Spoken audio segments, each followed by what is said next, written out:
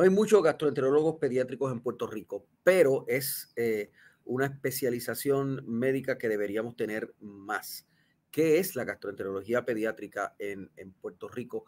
¿Qué condiciones eh, trata? ¿Por qué a los niños que tienen inflamación intestinal eh, o que tienen un problema recurrente y grave de reflujo, etcétera, lo debe ver mejor un gastroenterólogo pediátrico que no solamente un, pediatra y cuándo es que hay que referirlo. Vamos a hablar con la doctora Chiara Piaggi, que es una especialista gastroenteróloga pediátrica.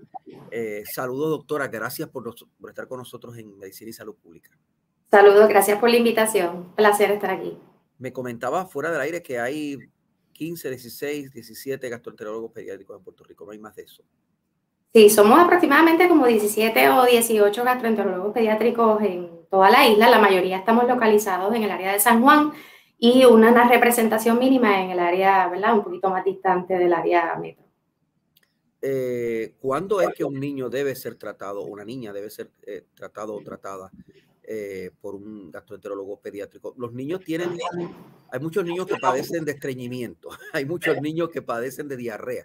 Hay, una cosa muy común, sobre todo en los bebés, es el problema del, del reflujo.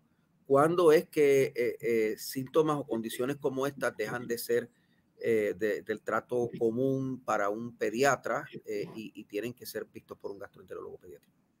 Pues mira, hay multiplicidad de razones por las que un niño debe ser evaluado por un gastroenterólogo, ¿verdad? Las más comunes en la comunidad es problemas de alimentación, niños que no toleran diferentes texturas de alimento, que no logramos progresar su nutrición, niños con vómitos recurrentes, diarreas, pérdida de peso, rezago en crecimiento, estreñimiento, condiciones más serias como enfermedad inflamatoria del intestino, condiciones de alergias a alimentos, eh, ese tipo de, ¿verdad? de circunstancias ameritaría una evaluación por un especialista pediátrico como un gastroenterólogo.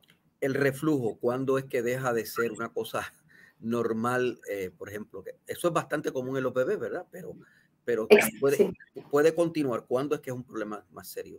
Mira, 100% de los bebés recién nacidos van a tener reflujo. Lo importante es distinguir entre lo que es reflujo y lo que es enfermedad del reflujo. Eh, ese número disminuyó significativamente cuando uno lo estratifica entre enfermedad de reflujo y reflujo. 100% tienen reflujo al nacer en ese periodo neonatal y en esos primeros meses de vida, pero enfermedad de reflujo pues ya es un número menor de pacientes, ¿verdad?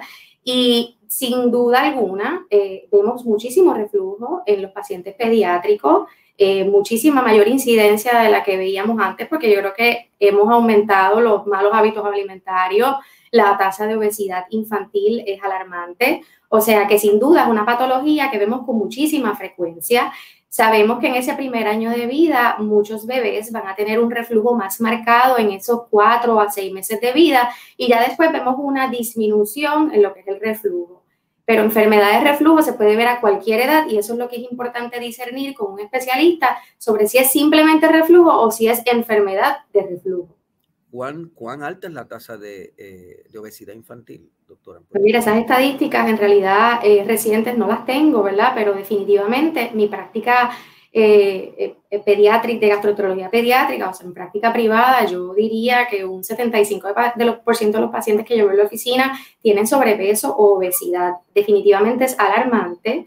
Este último año que llevamos encerrado en pandemia ha aumentado la tasa de malos hábitos alimentarios, el sedentarismo, tenemos a los niños encerrados en los hogares, no practicando deporte, sentados en los sofás y definitivamente he visto un aumento marcado en pacientes que no eran sobrepeso y obesos y ahora regresan a su citas de seguimiento pesando 20, 25 libras más. Así que la tasa es bien alarmante y estoy seguro que mis colegas pediatras y gastroenterólogos están completamente de acuerdo con eso. Es un problema que tiene que ver con la pandemia, estoy seguro, pero también tiene que ver con la difusión de la idea de que los niños se entretienen mejor con juegos de video, ¿verdad?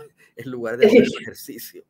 Definitivamente la, la, obesidad es multifactorial, ¿verdad? Hay muchos factores que juegan un rol. El sedentarismo y el estar conectado todo el tiempo a videojuegos es uno de los factores más importantes, pero sabemos que hay un componente genético, cultural, ¿verdad? Donde pensamos que mientras más gordito uno es, más saludable uno está y eso es completamente erróneo. A veces tenemos unas expectativas de lo que pensamos que los niños deben de comer en términos de porciones y variedad de comida, que es el doble de los requerimientos calóricos de ese niño, sin contar las sodas, los jugos, los dulces, los restaurantes de comida rápida, ¿verdad? Así que definitivamente hay muchos factores que juegan un rol, siendo el principal un exceso de consumo de calorías eh, y el sedentarismo. Pero también pues hay una tendencia genética que es importante no perderla de vista. También desde la eh, infancia temprana hay niños y niñas que padecen eh, de estreñimiento. Bueno, yo recuerdo anécdotas y bueno, con, mis propias hijas, no, no, que si esta leche le da estreñimiento, esta fórmula, esta, esto que está comiendo, pero puede convertirse en un problema serio, ¿verdad? Definitivamente. El estreñimiento es muy común, ¿verdad? Eh, de nuevo, uno de los factores más importantes que juega un rol en la patofisiología del estreñimiento es el comportamiento de retención.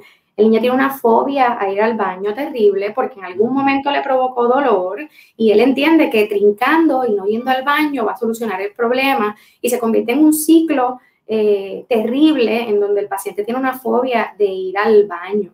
Hay muchos eh, mitos en la comunidad sobre lo que favorece el estreñimiento, lo que favorece tener un patrón más saludable. Definitivamente tener una alimentación adecuada, proporcionada de fibra, de buena hidratación, de una alimentación variada es importante, pero si un paciente tiene una dieta muy variada y una buena ingesta de líquidos, pero tiene un comportamiento de retención extraordinario, va a sufrir de estreñimiento. Así que la dieta es importantísima.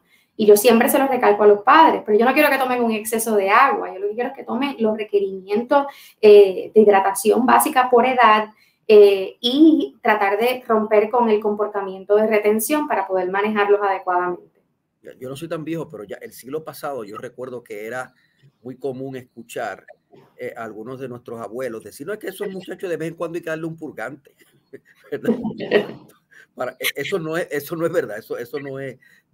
este, Bueno, eh, es, es, algo bien cultural en donde ir al baño es un, es un es análogo de, de, de, salud, ¿verdad? Y todo el mundo dice, ay Dios mío, por fin fue al baño, está hospitalizado por una pulmonía terrible, pero por fin fue al baño. Así que es algo bien cultural. Eh, todo el mundo tiene un patrón intestinal diferente, todo el mundo tiene un patrón de evacuación diferente. Lo importante es repasar con las familias lo que es un patrón intestinal saludable una evacuación puede ser a diario, puede ser un día sí, un día no, que sea suave, que sea formada, que no pase media hora en el baño tratando de pujar, que no haya desarrollado sangrado en excretas, excretas muy dolorosas, duras. Pero no hay que dar purgantes para ir todos los días, siempre y cuando sea una evacuación saludable y adecuada para la edad de ese niño. ¿Y qué pasa con la diarrea? ¿Es más común e-, esto, este trastorno la diarrea en, niños y niñas o es más común el, eh, bueno, ambos lo vemos con muchísima frecuencia. Yo diría que anecdóticamente yo veo muchísimo más estreñimiento que diarrea. Pero diarrea también es importante, ¿verdad? Evaluar las diferentes causas de la diarrea, porque hay un sinnúmero de causas de diarrea. Entre las más comunes figuran el exceso de consumo de jugos, ¿verdad? Y esa carga de carbohidratos para el intestino es excesiva el cuerpo no puede absorber todas esas azúcares, pasan al colon y entonces se, forma una fiesta de bacterias allí y entonces desarrollamos muchas diarreas. Y eso se llama la diarrea del trotón, ¿verdad? Y es el paciente típico de dos, tres añitos que se está tomando 30, 35 onzas de jugo al día y tiene esa diarrea. Es importante que nosotros no tratamos síntomas, ¿verdad? Yo no soy la especialista en diarrea, yo, yo tengo que ver al paciente como un entorno completo. Es importante revisar sus gráficas de crecimiento y de ganancia de peso, ver cómo está la velocidad de crecimiento, que esté adecuada, que no haya retraso, porque cuando uno evalúa diarrea puede ir desde algo bien benigno y sencillo, como lo que les acabo de mencionar de los jugos, hasta algo más serio y severo, como lo es enfermedad inflamatoria del intestino, condiciones de insuficiencia pancreática. Hay un sinnúmero de condiciones que pueden causar diarrea. Lo importante es, eh, ¿verdad? Evaluar todos los signos y síntomas que el paciente tiene, las gráficas de crecimiento, un buen examen físico, asistencia de laboratorio para poder definir qué tipo de diarrea es y poder darle al, paciente el diagnóstico correcto y el tratamiento apropiado. Esta condición que mencionó, inflamación de los intestinos, se da usualmente porque hay algo genético, hay mala alimentación, ¿Qué provoca esto? Bueno, las enfermedades inflamatorias del intestino, conocidas ¿verdad? comúnmente como la enfermedad de Crohn y la enfermedad de colitis ulcerosa y colitis no específica,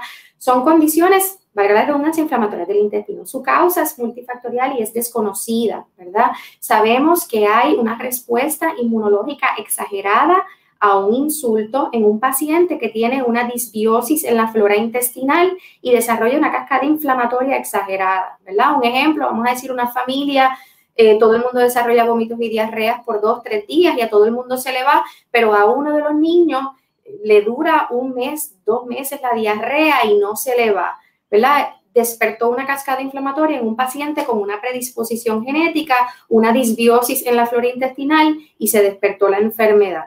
Eh, así que, y definitivamente en Puerto Rico hemos visto un aumento, al igual que está descrito en toda la nación americana, en la tasa de enfermedades inflamatorias intestinales. El Crohn's, por ejemplo, ¿verdad? Que eso antes uno ni escuchaba mencionar de eso y ahora escucha bastante. Eso es cierto, ¿verdad? Vemos muchos pacientes de Crohn's. Lamentablemente, ¿verdad? En la práctica privada, anecdótica, ¿verdad? Yo diría que yo diagnostico uno o dos pacientes a la semana. Y yo creo que muchos de mis colegas están, ¿verdad? En situaciones bastante similares. Eh, yo creo que también la pandemia retrasó un poquito el acceso a los médicos y el acceso a buscar ayuda con síntomas insidiosos, ¿verdad? Una diarrea que ahí iba, venía, pero es un niño que ya lleva muchos meses que no ha ganado peso, que cada vez se pone más débil. O sea que eso retrasó un poco eh, los diagnósticos a tiempo, pero definitivamente es una enfermedad que vemos muchísimo en la gastroenterología pediátrica en Puerto Rico y a nivel mundial. ¿Ve también muchas condiciones relacionadas con el páncreas y el hígado, doctora? Pues mira, en términos del páncreas no tanto, ¿verdad? Eso es un poquito más raro. En pacientes con, sí tengo pacientes con fibrosis quística que tienen insuficiencia pancreática. Eh, tengo muchos pacientes con obesidad, lamentablemente muchos pacientes con obesidad a edades bien tempranas y con enfermedad de hígado graso. A diferencia de la adultez, en donde el hígado graso, eh, Lo más común es estar sobrepeso obeso. En pediátrica hay que tener mucho cuidado porque hay muchas condiciones que pueden parecer hígado graso y no son hígado graso. Así que sigue siendo un diagnóstico de exclusión en los pacientes pediátricos y hay que hacer la evaluación. Sí estamos viendo muchísimos pacientes con eh, ese tipo de patología y requiriendo biopsias de hígado para identificar ya cambios de fibrosis eh, Escuchaba yo hace un rato, ¿verdad? Eh, escuchaba un rato, me está escuchando bien, ¿verdad? Sí. Eh, escuchaba yo hace un rato, leí hace un rato el planteamiento de que los cuerpos de los niños, aunque son los mismos órganos ahí, ¿verdad? Pues no son, eh, no son cuerpos de adultos en miniatura, son diferentes. Son, son diferentes, por eso es que tiene que haber pediatras y por eso es que tiene que haber eh, Definitivamente. Yo aprendí muy temprano en mi entrenamiento en pediatría que los niños no son adultos pequeños, ¿verdad? Y yo recibo llamadas todo el tiempo de amigos gastroenterólogos de adultos y médicos de adultos con preguntas bien, ¿verdad? De sus hijos y me dicen, mira, yo no me atrevo a decir qué es esto, ¿verdad? Porque yo puedo decir a un adulto, pero en un niño es muy diferente, ¿verdad? En particular, las enfermedades inflamatorias del intestino en niños presentan con un fenotipo mucho más severo que los adultos. Así que, a diferencia de los adultos, que a lo mejor tienen una colitis menos extensa, una colitis limitada al recto, ¿verdad? Al, colon descendiente, en pacientes pediátricos estamos viendo eh, que presentan con el colon completo envuelto eh, y mucha más morbilidad asociada al diagnóstico inicial. O sea que eso también es bien importante. No son adultos pequeños y no podemos tratarlos como si fueran adultos pequeños porque es una patofisiología muy diferente. Como decía un amigo mío, no son enanos. No. no son enanos, son niños. Son niños. Son niños.